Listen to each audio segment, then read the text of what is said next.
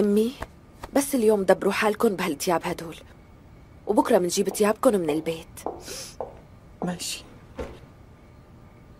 سمعتي اللي ما بتتسمى أمينة؟ سمعتنا حكي. وش البومة؟ أنا بحاسبها لا تزعلي أمي. القصة عندي لا تاكلي هم. ولا عمي كيف قال لأختك الحمد لله على السلامة من طرف لسانه كمان. وأنا حتى اطلع بوشها هالمسكينة. ما بظن إنه عمي بيقصد هالشي أمي. روحي تحكي على غيري بهالحكي.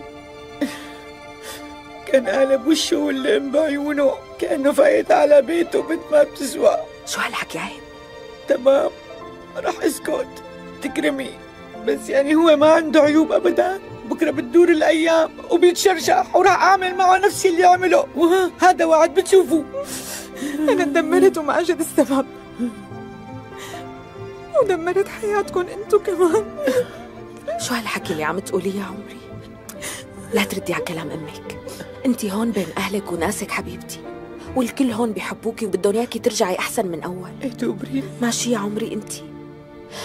أنا نازلة أقول لأمينة تعمل لك شوربة سخنة لأنه بتفيدك. ما ضل شي بمعدتها بعد غسيل المعدة اللي عملته. يا عمري سلامتك. أمي أنا نازلة أشوفهم شوي تحت. خليكي قاعدة جنبها ولا تتركيها. ما بتركها. من اليوم ما رح أترك بنتي شو ما صار. طيب أنا ما بطول نص ساعة وبرجع. روحي يا بنتي الله يرضى عليكي يا رب. تعي يا روحي تعي بعد اللي عملته زينة نزلت من عيني كتير. لا تحكي هيك حرام. برأيي إنه هي أكيد تعلمت كثير من اللي صار معها بهالفترة وراح تكون حريصة أكثر على حالها وتصرفاتها بعد اليوم. ما بتوقع أبدا.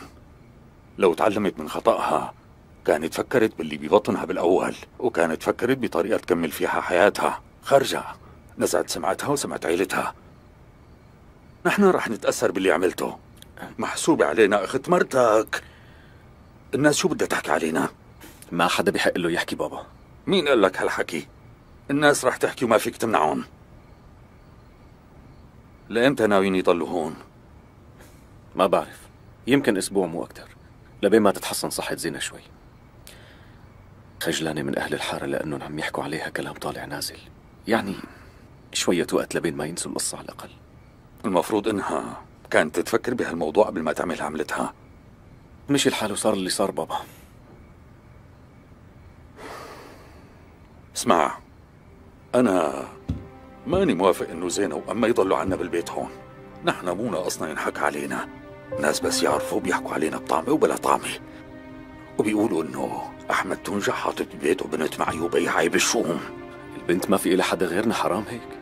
أنا قلت لك اللي عندي تحل مشاكلها ببيتها. إذا هي ما فكرت بعيلتها نحن قلنا سمعتنا. سوزان بالبيت ولساتها مراهقة وإذا بتضل بوش وحدة مثل زينة يمكن تلعب بعقلها وتجرها للغلط. وقتها شو بنقدر نعمل؟ قول.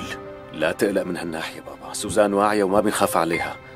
وبعدين أنا ما بلاقي إنه من الصح إني أترك بنت حماية لحالها بهيك ظرف. مو هيك حضرتك ربيتنا؟ أنا قلت اللي لازم ينعمل رغم هالشي إذا مصرت خليها هون مثل ما بدك. بس أنا ماني رضيان بهالشي بنوب يلا تصبح على خير.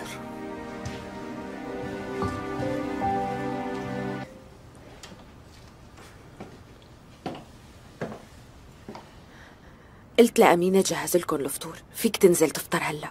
وانت ما بدك تاكلي؟ رح أفطر أنا وأمي بالغرفة عند أختي. لساتها تعبانة وما فيها تنزل مو؟ مو مشان هيك. بلا ما ينزعج أبوك من وجودها. ولحتى بنت عمك ما تقعد بحضرة وحدة مثل أختي. تعرف أنت يعني أختي أخلاقها ما بتسوى بنوب. سمعتي حديثنا امبارح صح؟ أبوك كان امبارح صوته مسموع بكل الطابق اللي تحت. وسمعته شو كان عم يقول. أنا اعتبرته بمقام أب وسعيد اعتبرته أخي الصغير وأكتر. كنت غطي على كل مشاكلهم واعتبرت حالي بين عيلتي. بالآخر بتكافئوني بهالطريقة؟ مو هيك حبيبتي بجوز انت ما سمعتي غير نص حديثه لهيك. يعني البابا ما بيقصد هالشي. كل القصة إنه قلقان على زينة وخايف عليها مشان انت بتعرف شو حكى لا تكذب علي بترجاك سامي. قال إنه أختي بنت بلا أخلاق أنا سمعته. دخلك صاحبته لسعيد لما اجت وصارت تحكي كلام طالع نازل ليش ما حكى شي؟ اللي عمله سعيد شو بيفرق؟ رد سامي ولا لأنه هاد ابنه؟ مدام أبوك خايف على عيلته. أنا كمان رح يكون أول وآخر هم هني عيلتي.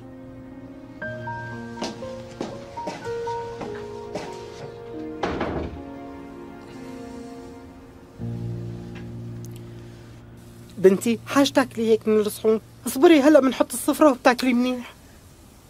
تقولي عم طعمي جيش مو عيلة.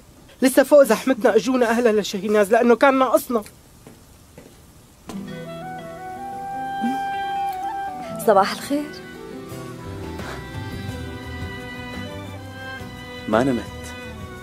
كنت عم فكر باللي صار طول الليل. يي؟ وليش أنت لا تفكر فيها أبني؟ لا تعب حالك بقصصهم. مين رح يقبل يتجوزها بعد فضيحتها؟ بعده لمين؟ خلصوني اطلعوا خلوني امرق عندي شغل كتير. يلا. ما رح نبعد. نحن رح نضل واقفين هون. لاقي لك طريق غيره. إيه بعده منو شي يلا. حضرتك على شو عم تضحكي؟ الله يساعدني عليكم وعلى جنانكم.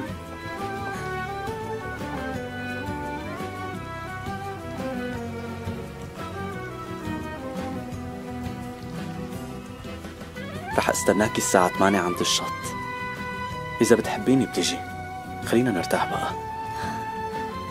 سوزان جيبي معك الصينية يا بنتي. سوزان ليك الصينية.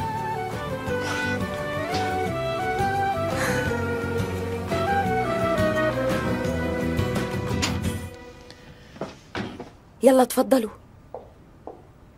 هاتي عنك. يسلم إيه شو هالفطور هذا غير شكل؟ ليكي أختك عملت لك من البرك يلي بتحبيهم دوقي يا عمري. زينة قلت لأمينة تعمل لك هالبرك خصوصي إلك كلي يلا. يسلموا شاهي مو قدرانة آكل. مالي نفس. ما بدي أمي. ما بيصير لازم تاكلي مشان تتعافي. يلا حبيبتي. يا ربي والله الحبسة هون لحالها بتصد النفس. هلا بيفطروا وبيروحوا على شغلهم. ونحن بننزل على الصالون وبنشرب قهوة. زينة شو رأيك حط لك شي تحضري فيلم؟ اتركوني. حاسة إنه بدي أرجع نام. ولك بنتي شو بدك تقضي كل الوقت نوم؟ ليك مخدتك راسك علم عليها من كتر النوم. يلا قومي معنا يلا. خلاص. طول ماني فايقة الأفكار عم تاكل راسي أكل خلص اتركوني بدي نام. وعمك هاد السيد أحمد ما بده يطلع يسلم علينا؟ يعني معقول نحن ضيوفه وما يسأل عمي مو حابب يزعجكم ويحسسكم انكم ضيوف عنا. أكيد رح نجتمع كلنا على العشاء اليوم. رح نروح على البيت بعد شوي بنتي. مشان جيب تياب. بكرة بيقولوا إيه شو هالناس هي ما عندهم غير هالتياب يلي لابسينها حتى يطلعوا فيهم كل يوم. زينة كرمالي قومي كلي لك لقمتين إيه يا عمري. ما بدي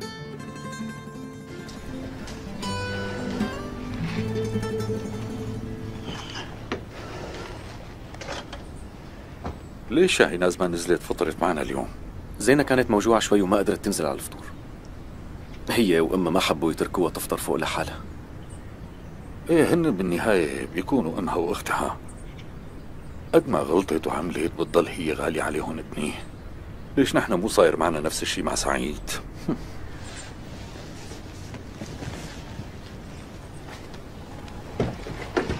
يمكنك الاشتراك في قناتنا لمشاهدة المزيد من مقاطع الفيديو وتشغيل الإخطارات لتكون أول من يشاهدها.